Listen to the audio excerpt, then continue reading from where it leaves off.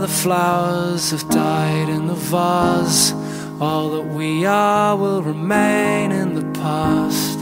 It's unresolved, come to think of it. Stood by the bed